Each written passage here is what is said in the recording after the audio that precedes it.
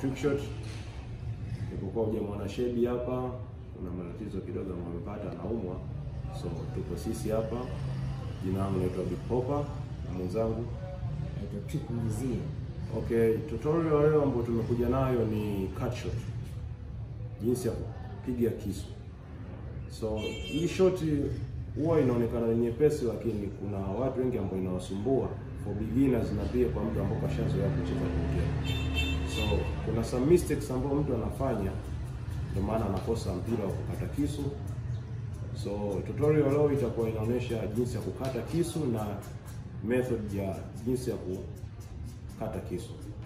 So tutakuonyesha aiming system nyingi na tofauti tofauti ambazo zinaweza zikakusaidia wewe kuweza kukata visu vizuri na kudevelop mchezo wako ukawa mzuri zaidi. Okay guys, aiming system ya kwanza huwa tuna tuna focus na mpira. Of course kama unaweza kuona huu mpira ni unatakiwa upigwe kisu uweze kuja shimoni. Kuna method za design nyingi, lakini method ambayo tunatakiwa tuanze nao leo ni ya ku-aim kwenye mpira. Kama unaweza kuona kuna curve ya kwanza hapa juu, kuna kuna tumbo katikati na kuna curve ya pili hapa chini. Hizo zote ni aiming system na zinaweza kukusaidia wakati wa kupiga kisu. So kwanza, kitu cha kwanza unatakiwa kujua kwamba unapiga kisu ni kikali au kisu cha kawaida. Kama kisu ni kikali, huwa tuna aim katikati ya tumbo, lakini kama kisu chako ni cha kawaida, tuna aim kisu upande wa juu, na kama kisu chako ni kikali sana, huwa tuna aim kwa chini. Hivi ni visu viwili tofauti, vitatu sorry, tofauti ambao vinaweza kukusaidia jinsi ya kupiga. So immune system hii hapa sana sana huwa inatumika kama hutaki kutumia immune system nyingine. Immune system hii ndio inakuwa ni nzuri sana ukiwa tu umekaa hapo kwenye white, kama unavyoweza kuona white, unahitaji kuja kupima tena, so utatumia immune system hii.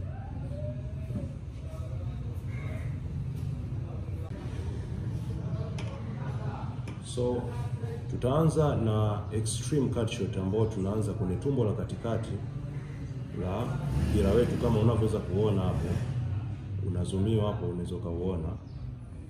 Sisi tunacho aim ni hapa kwenye tumbo la katikati hapa, sorry.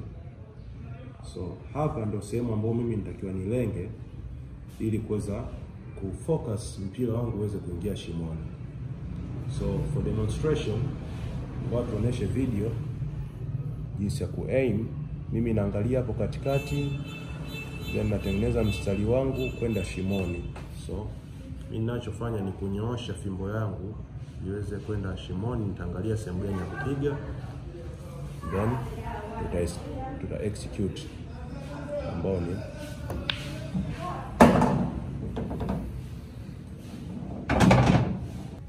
shoti nyingine ambao tunataka tuitumie ndo hiyo ambao tunalenga juu ya white.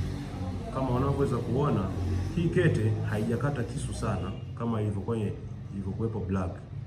Hii inaomba kisu kidogo, na kama unaweza kuona kwamba kete zilivyokuwa zimenyooka hazijanyoka vizuri kwenda shimoni, kwa hiyo inatakiwa kisu kidogo tu. So aiming system ambayo tutatumia kwa kupiga kisu kizuri ni kulenga juu ya tumbo la hii nyekundu. So tutalenga vizuri kwenye hii juu ya hii nyekundu, nitafocus na tangerine yetu ambao imenyoka kwenda shimoni. So for demonstration nitaonyesha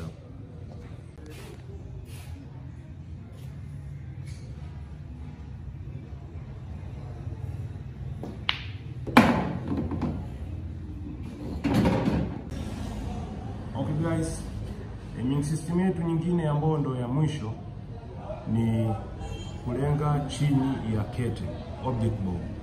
Kama unaweza kuona hii kete ni ngumu sana kucheza kuja shimoni hapa. Unaweza kuona kwamba ni, ni kete ambayo inatakiwa ikatwe kisu extreme sana, kisu kikali. So jinsi ya kuaim hii kete, kwanza unatakiwa uangalie mstari ambao unatakiwa jinsi sehemu ya kulenga ambao huwa tuna focus hapa, then tutalenga chini ya hii kete yetu ili kuweza kupiga kisu extreme sana.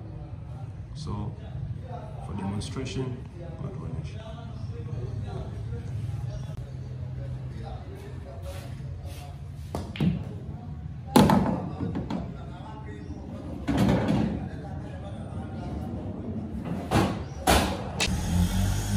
Okay, so aiming system nyingine huwa inaitwa ghost ball. Ghost ball ni nini? Ghost ball ni pale tunavyo imagine mpira mwingine ambao hauexist kwamba tunautumia kama aiming system.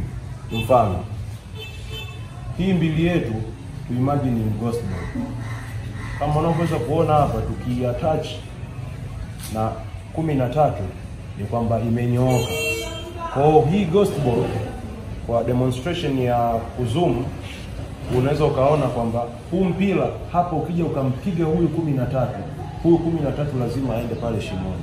So huwa tunatumia aiming system ya ball kuimagine kwamba huu mpira uko hapa, tutatumia huu mpira kuweza kuaim ili kuweza kupeka kumi na tatu.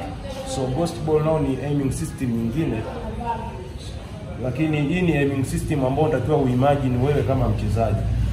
Ni development tu ndogo ndogo ambayo unatakiwa ufanye ili uweze kucheza na kuweza kutumia immune system. Immune system hii ni nzuri kama huhitaji kuonesha jinsi ya kupimapima. So hiyo ndo immune system ya ball. So kama tunavyoweza kuona hapa, ball yetu ni hii hapo. Mimi ninachotakiwa ni kufocus kwenye hii mbili ambayo nitaimagine then nitaenda kuexecute. Natoa huu mpira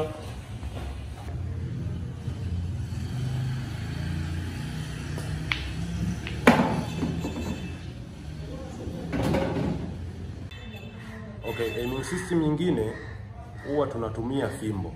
Of course fimbo inaweza ikakusaidia nao kuweza kuaim, kama unaweza kuona hiyo fimbo imenyooka kwenda shimoni.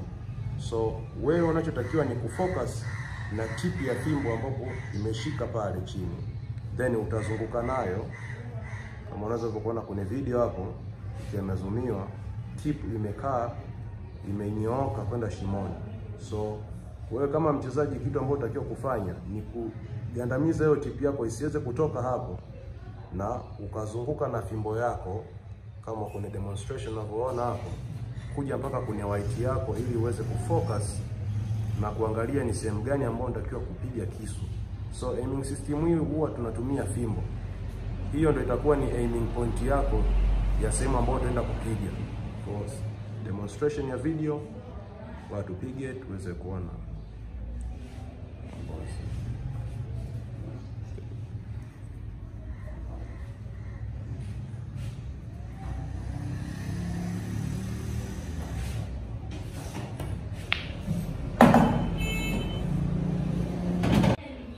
Okay guys, nadhani tutakuwa tumejifunza vitu vingi sana kuhusiana na mambo ya cut shot.